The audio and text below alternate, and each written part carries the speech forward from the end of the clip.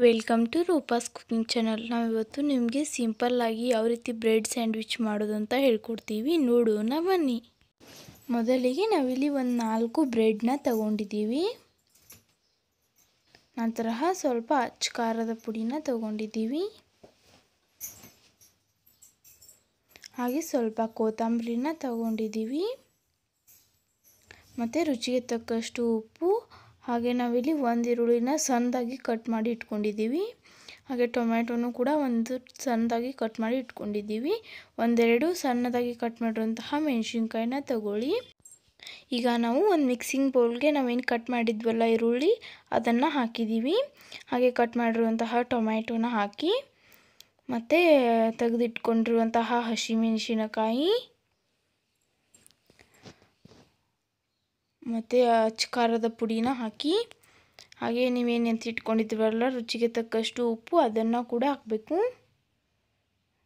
ನಿಮಗೆ ರುಚಿಗೆ ಎಷ್ಟು ಬೇಕೋ ಅಷ್ಟು ರುಚಿನ ನೀವು ಅದಕ್ಕೆ ಹಾಕಿ, ಹಾಗೆ ಎತ್ತಿಟ್ಟಿರುವಂತಹ ಕೊತ್ತಂಬರಿನ ಕೂಡ ಅದಕ್ಕೆ ಹಾಕ್ಕೊಳ್ಳಿ ನಂತರ ಎಲ್ಲನೂ ಚೆನ್ನಾಗಿ ಮಿಕ್ಸ್ ಮಾಡ್ಕೊಳ್ಳಿ. ನೋಡಿ, ಈ ಥರ ಎಲ್ಲನೂ ಚೆನ್ನಾಗಿ ಮಿಕ್ಸ್ ಮಾಡಬೇಕು. ಈಗ ನಾವೊಂದು ಬ್ರೆಡ್ಗೆ ಮಿಕ್ಸ್ ಮಾಡಿರುವಂತಹ ಚಾಟ್ನ ಹಾಕಿ ನಾವಿಲ್ಲಿ ಒಂದು ಸಣ್ಣ ಸ್ಪೂನ್ಲೆ ಒಂದೆರಡು ಸ್ಪೂನಷ್ಟು ಚಾಟ್ನ ಹಾಕ್ತಾಯಿದ್ದೀವಿ ನೋಡಿ, ಈ ಥರ ನೀವು ಮಾಡಿರುವಂತಹ ಚಾಟ್ನ ಹಾಕಬೇಕು. ಹಾಕಿದ ನಂತರ ಅದರ ಮೇಲ್ಗಡೆ ಇನ್ನೊಂದು ಬ್ರೆಡ್ನ ಈ ಥರ ಹಾಕಿ ಸ್ವಲ್ಪ ಅದನ್ನು ಪ್ರೆಸ್ ಮಾಡಿ. ಈಗ ನಾವಿಲ್ಲಿ ಒಂದು ತವ ತೊಗೊಂಡಿದ್ದೀವಿ. ಅದಕ್ಕೆ ಸ್ವಲ್ಪ ಒಂದೆರಡು ಸ್ಪೂನಷ್ಟು ತುಪ್ಪನ ಹಾಕಿ ಈ ಥರ ಅದನ್ನು ನಾವು ಸವರ್ಕೋತಾ ಇದ್ದೀವಿ. ನೋಡಿ ತುಪ್ಪ ಹಾಕಿದ ನಂತರ ನೀವೇನು ಚಾಟ್ ಹಾಕಿ ರೆಡಿ ಮಾಡಿಟ್ಟಿದ್ರಲ್ವ ಬ್ರೆಡ್ ಅದನ್ನು ಅದ್ರ ಮೇಲೆ ಇಡಬೇಕು. ಹಾಗೆ ನೋಡಿ ಈ ಥರ ಬ್ರೆಡ್ ಮೇಲೆ ಕೂಡ ಸ್ವಲ್ಪ ತುಪ್ಪನ ಹಾಕಿ ಅದನ್ನು ಕೂಡ ಸ್ವಲ್ಪ ಸವರ್ಕೊಳ್ಳಿ. ಹಾಗೆ ಒಂದು ಸ್ಪೂನ್ನ ತೊಗೊಂಡು ಸ್ವಲ್ಪ ಪ್ರೆಸ್ ಮಾಡಿ. ನೋಡಿ ಒಂದು ಸೈಡ್ ಬೆಂದ ನಂತರ ಅದನ್ನು ಇನ್ನೊಂದು ಸೈಡು ನೀವು ಚೆನ್ನಾಗಿ ಬೇಯಿಸಬೇಕು.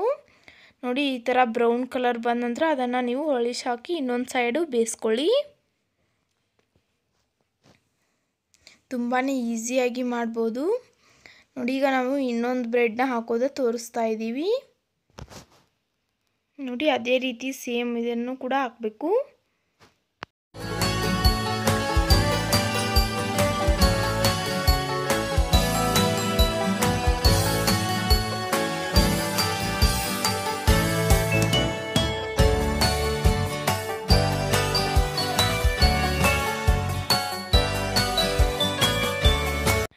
ನೋಡಿ ಈ ಥರ ಎಲ್ಲನೂ ಚೆನ್ನಾಗಿ ಬೇಯಿಸ್ಕೊಂಡ ನಂತರ ನಾವಿಲ್ಲಿ ಒಂದು ಪ್ಲೇಟಿಗೆ ಎತ್ತಿಟ್ಕೋತಾ ಇದ್ದೀವಿ.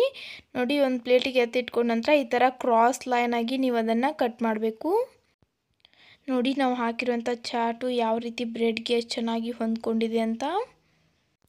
ನೋಡಿ, ಈಗ ಬ್ರೆಡ್ ಸ್ಯಾಂಡ್ವಿಚ್ ರೆಡಿಯಾಗಿದೆ. ನೀವು ಕೂಡ ಮನೇಲಿ ಟ್ರೈ ಮಾಡಿ ಹೇಗಿದೆ ಅಂತ ಕಾಮೆಂಟ್ ಮಾಡಿ ತಿಳಿಸಿ. ಹಾಗೆ ನಿಮಗೆ ಈ ರೆಸಿಪಿ ಇಷ್ಟ ಆಗಿದರೆ ನಮ್ಮ ಚಾನಲ್ನ ಸಬ್ಸ್ಕ್ರೈಬ್ ಮಾಡಿ ಲೈಕ್ ಮಾಡಿ ಶೇರ್ ಮಾಡಿ. ಹಾಗೂ ನಿಮಗೆ ಮತ್ತೆ ಯಾವ್ದಾದ್ರು ರೆಸಿಪೀಸ್ ಬೇಕಾಗಿದ್ದರೆ ಕಾಮೆಂಟ್ ಬಾಕ್ಸಲ್ಲಿ ಕಾಮೆಂಟ್ ಮಾಡಿ ತಿಳಿಸಿ.